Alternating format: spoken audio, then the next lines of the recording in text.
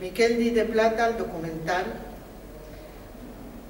Haití, eh, de Jenny Kivisto, Finlandia.